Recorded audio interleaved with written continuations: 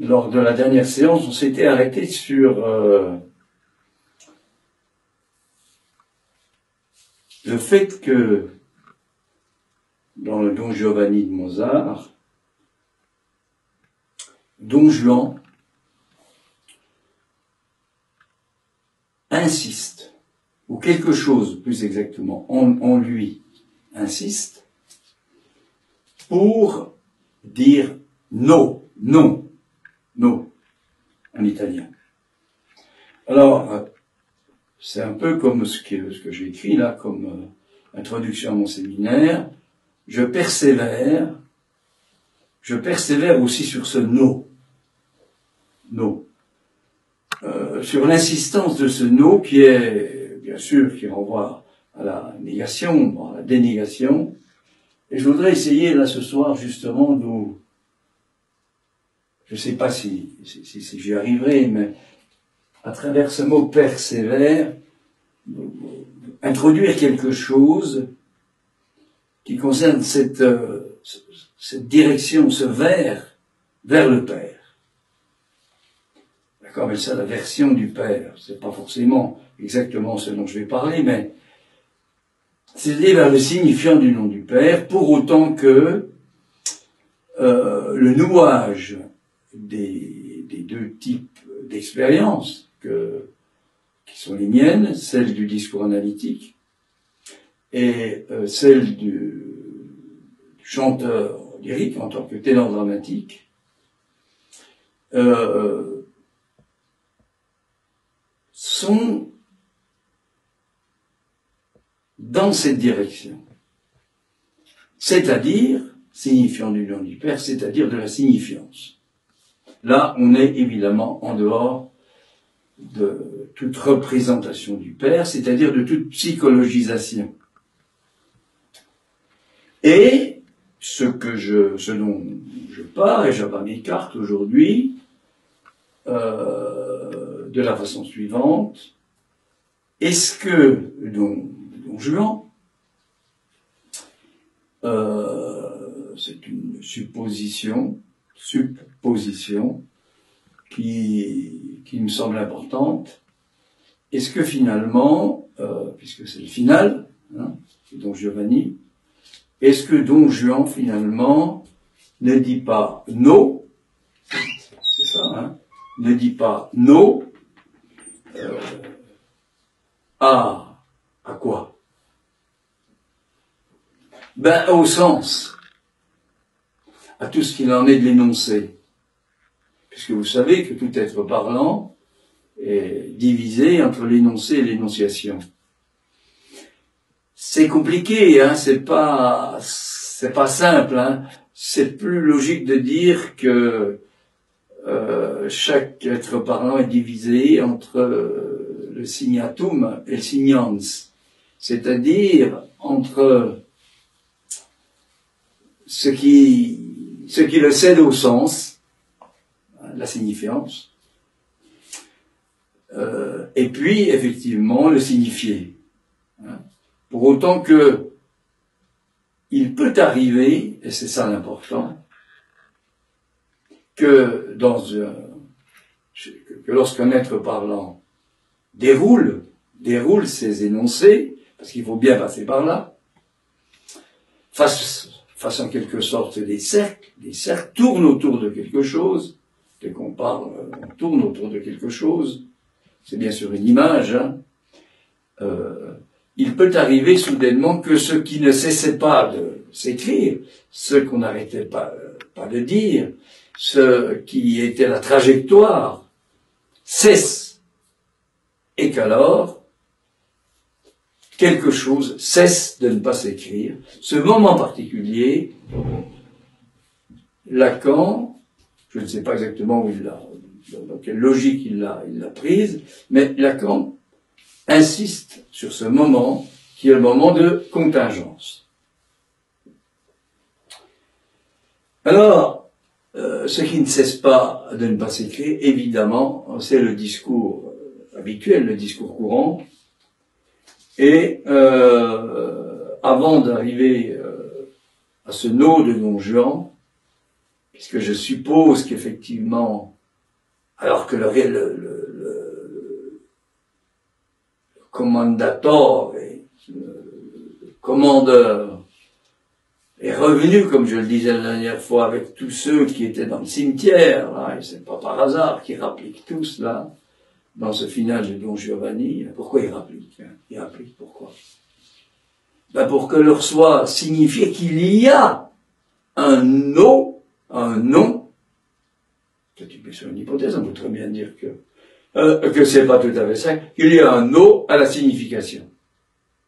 Mais c'est pas un no euh, qui fait disparaître, comme la signification c'est importante, c'est important, pardon, pour autant qu'elle conduit au fait qu'à un moment, quelque chose lâche, quelque chose dans le discours qui est le discours courant, pour autant que quelque chose à ce moment-là, eh ben, sorte de travers.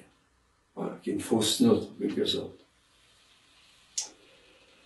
Et euh, ben, on ne peut pas ne pas penser, si vous voulez, dès qu'on est un chanteur lyrique, au fait que quand on va dans les aigus, hein, plus on monte dans les aigus, plus le sens euh, euh, est, est, difficile à, à, repérer, si on veut l'entendre, bien sûr. C'est-à-dire que les voyelles ne, sont, ne donnent plus le, le même son. Et euh, il est possible de rapprocher ce, cette montée, cette mise en direction-là, euh, de quelque chose qui est la signification. Et puis, bien sûr, dans ces moments-là, effectivement, euh, le corps du, du chanteur lyrique euh, est tellement pris par quelque chose, est tellement pris dans une exsultation, les lèvres étant mises en avant pour faire sortir l'aigu, l'aigu qui est attendu, évidemment par tout le monde. Pourquoi? Ça, c'est une question. Mais euh, c'est une question qui nécessite euh, qu'auparavant, effectivement, bah, il y a un point de départ qui soit pas l'aigu. Ça n'empêche pas de partir de l'aigu, évidemment. Bon. Mais ce que je voudrais dire, c'est aujourd'hui, je l'ai peut-être déjà dit, c'est que ceci ne va pas de soi, et je voudrais reprendre euh, la façon dont Lacan, le, le 20 novembre 1973, euh, dans ce séminaire Les non-dupes R, revient sur euh, ce temps particulier euh, euh, où ce qui ne cesse pas de s'écrire peut ouvrir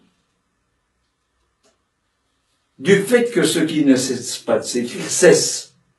Peut ouvrir à quoi? Ben, à ce qui cesse de ne pas s'écrire.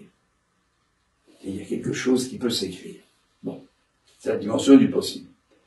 Euh, Lacan, euh, dans ce séminaire, bien sûr, je ne vais pas reprendre ce qu'il en est, je prends, euh, euh, est surpris, est surpris par deux choses. Euh, deux choses qui concernent la, la. Vous savez, cet ouvrage capital qui était qui a été écrit par Freud en 1900. La, science des rêves, c'est la traduction euh, habituelle. Ce serait plutôt la signifiance. Hein. Le c'est plutôt la signifiance du rêve. Euh, là, là, on bien déjà que dans la traduction, il y a, un problème, hein, traduction trahison, hein, en quelque sorte. Euh, il, il, insiste sur deux choses euh, qui l'ont interrogé, et je voudrais vous les livrer avant, pour montrer que ce nom, de Don Juan est important.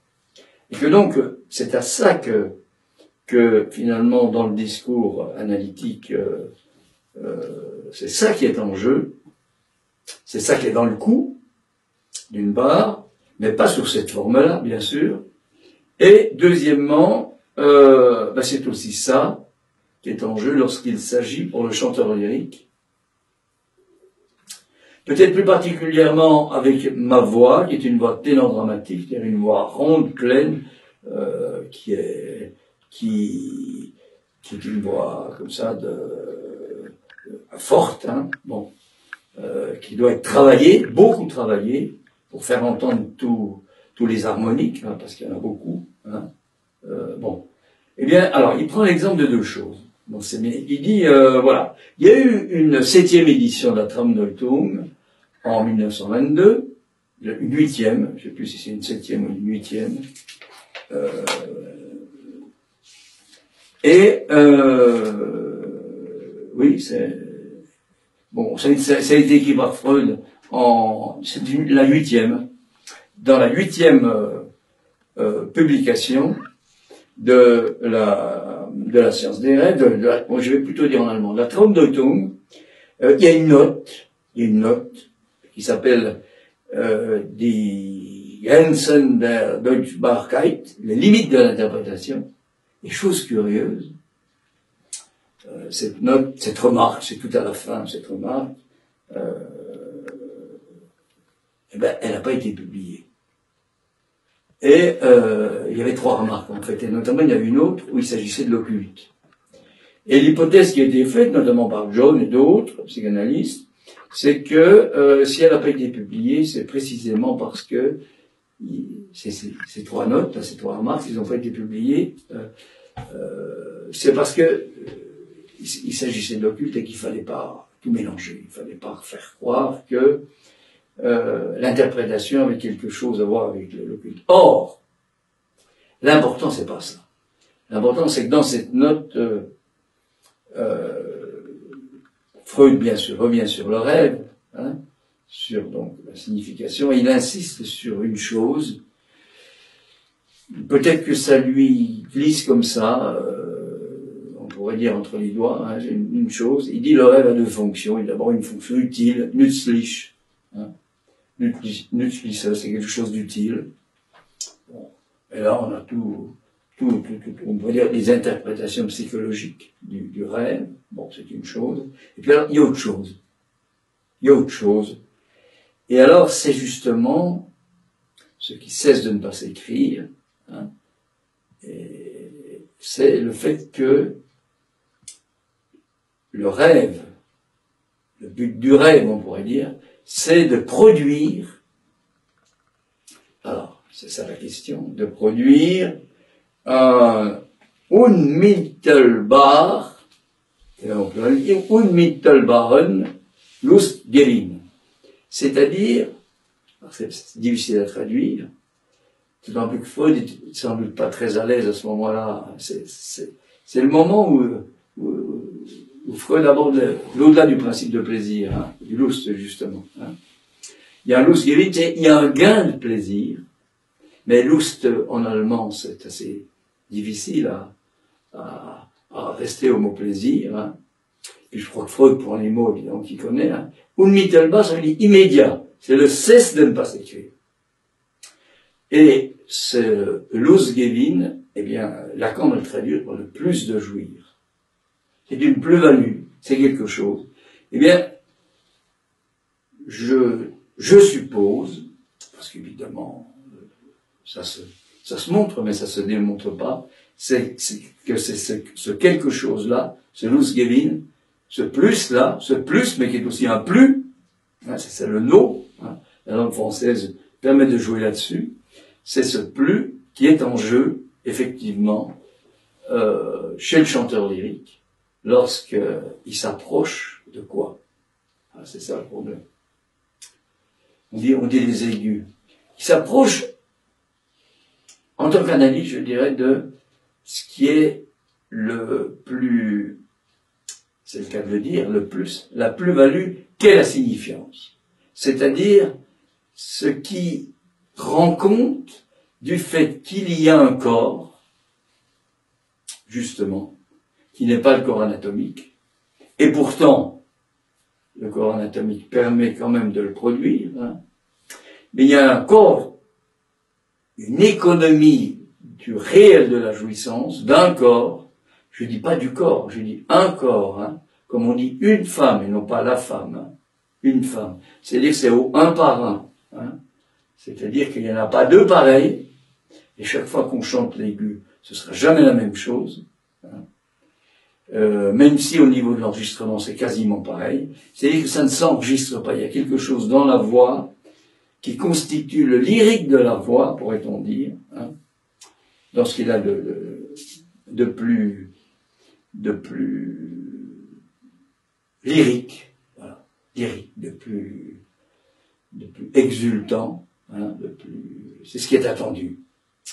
Et, comme je vous l'ai déjà dit, ça a été aussi bien décrit par Michel Poisat, hein, euh, dans ses livres, hein, euh, euh, puis ça a été évidemment élaboré par Freud dans, dans, dans cette expérience primordiale, hein, qui parle dans l'esquisse de la psychologie scientifique, scientifique, et puis ça a été repris évidemment par Lacan après, à savoir qu'il y a, après cette expérience d'un cri, chez le nouveau-né, une trace de jouissance à jamais perdue.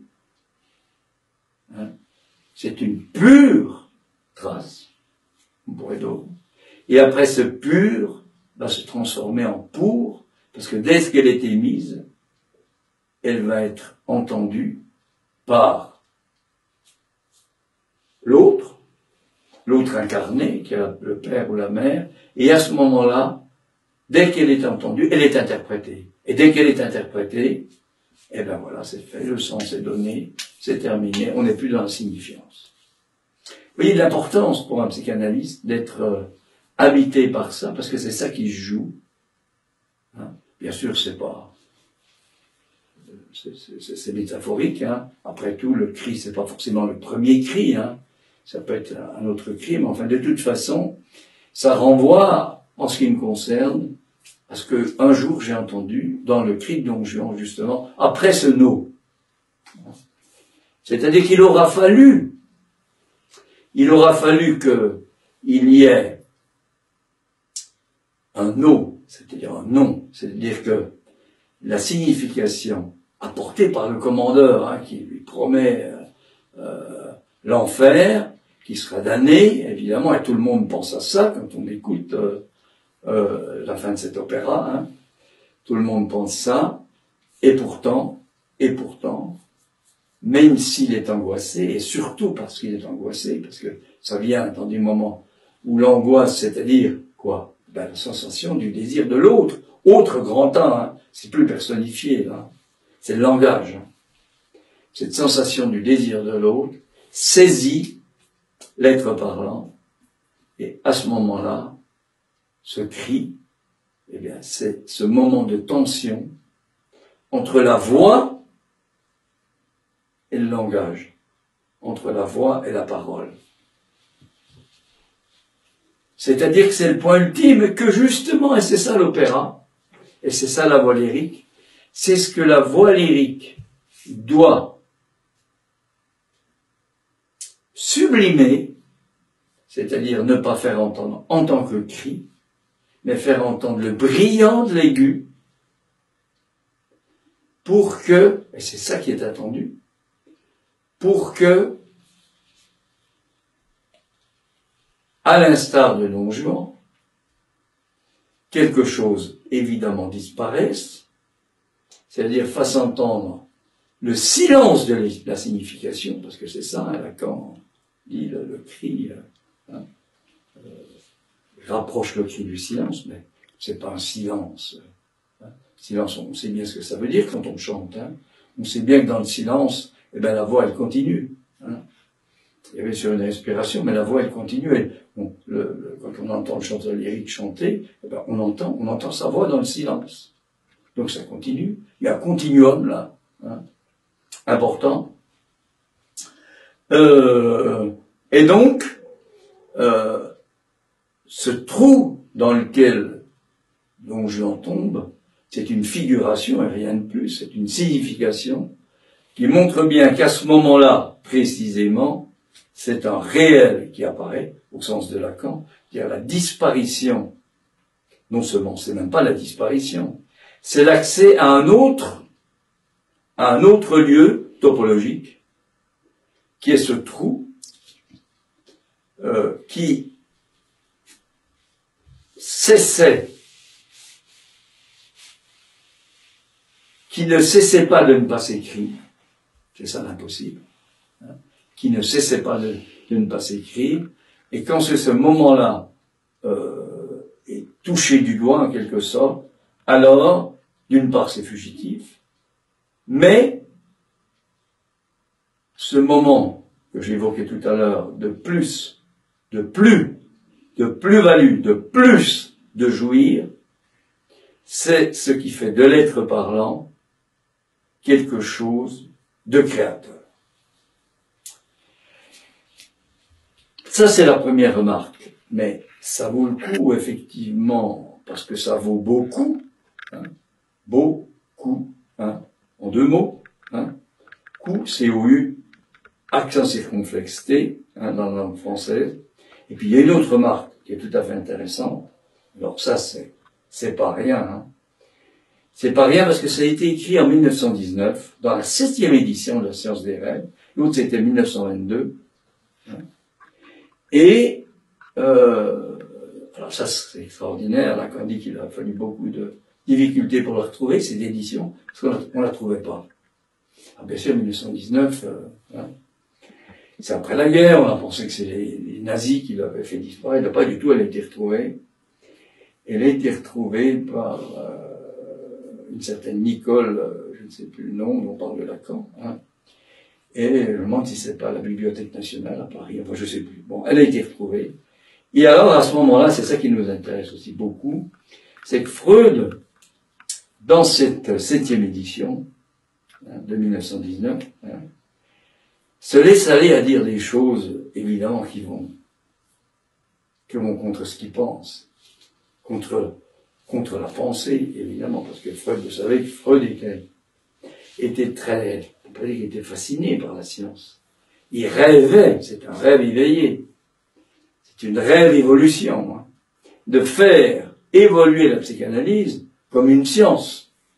Et on peut se demander de plus en plus, surtout depuis la disparition de Lacan, si justement c'est pas ce qui est en train de se passer dans la mesure où les psychanalystes maintenant, bah, ils interviennent euh, en expliquant tout, alors qu'un psychanalyste n'est pas là pour expliquer à la télévision ou ailleurs, et plus particulièrement les événements, les événements tragiques qui viennent d'avoir lieu, euh, parce que justement c'est ça dont, dont, dont, dont parle. C'est ça qui permet peut-être un petit peu d'entendre quelque chose dans cette barbarie, dans cette barbarie qui a lieu là, qui vient d'avoir lieu à Paris. Bon. Alors, il écrit en, en, 1919 ceci. Ça lui glisse des doigts, hein, j'insiste bien. Hein, hein il, dit, ceci, je vais, essayer de vous retrouver, là. Il y a quand même deux trucs là. Euh, il, il, essaie de parler de la réalité psychique, hein, de la réalité du rêve et de la réalité psychique. Alors il, évoque bien sûr la réalité matérielle, dit Lacan, hein, bon. Euh, et puis il dit là, il y a une phrase comme ça qu'il lâche. Hein. Bon, c'est dans la seule, c'est la seule édition on la trouve. C'est très important ça. Parce que ça montre que la pensée, hein, eh ben, ça censure.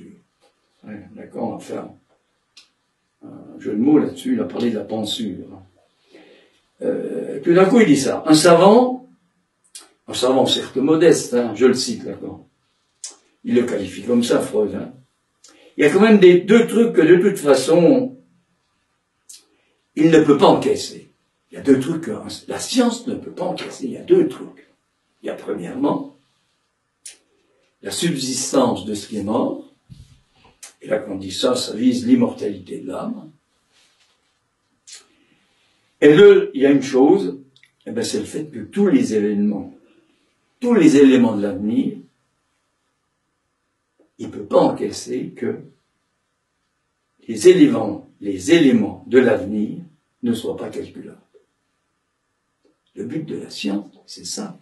Le discours universitaire, c'est ça. Le discours humain, c'est ça. C'est d'expliquer, c'est d'enseigner. Alors, concernant l'immortalité de l'âme, il rejoint évidemment Aristote, hein, pour qui lui, pour qui il n'y avait pas du tout d'immortalité de l'âme, ce qui du coup change tout qui du coup va permettre autrement bah, de cette euh, bipolarité de l'être parlant entre d'un côté l'âme et de l'autre côté le corps. Et donc, de parler autrement du corps, comme je viens d'en parler. Et à propos des événements qui, qui sont quand même des événements humains, pour que ce soit des événements humains, il cite Aristote parlant de l'impossibilité de parler d'une victoire, par exemple la victoire de Mantinet, hein, donc d'une d'une d'une d'une bagarre, d'une sur un champ de bataille. Hein. Et puis alors surtout, il en vient à sortir un truc là. Ça fait quand même dresser les cheveux sur la tête là. Hein.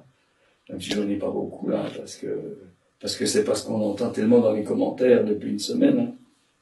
C'est une semaine qu'a lieu cette barbarisme. Hein. Il dit dans une armée, finalement, qu'est-ce que c'est qu'une armée? C'est deux troupeaux. Hein? C'est deux troupeaux. Alors là, bien sûr, c'est un troupeau spécial. Hein. Euh, Daesh, c'est un troupeau spécial, évidemment. Mais euh, on croit que c'est parce qu'ils sont bien menés qu'ils vont gagner la guerre. C'est pas du tout ça. Le plus fort, celui qui risque de... Pour, pouvoir prévoir qui va gagner, qui va vaincre, ben, il faudrait connaître quoi? C'est même pas la stratégie. Pas ça. je vous le donne en mille. Mais connaître quoi? C'est pareil que non C'est la même chose. C'est pas une histoire de christianisme, non juin. C'est pas une histoire de christianisme, pas du tout. C'est que ça fait accéder à autre chose. Ça fait accéder à quoi? Au rapport à l'économie de la jouissance. Et il dit, ceux pour qui mourir relève de la jouissance, eh bien c'est ceux-là les plus forts.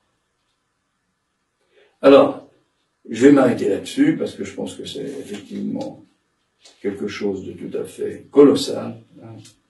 Et puis, euh, euh, je vous laisse un petit peu comme ça méditer là-dessus euh, pour la prochaine fois sur le, rapport entre dès qu'on sort de l'immortalité de l'âme, vous voyez, dès qu'on s'adresse au corps, hein.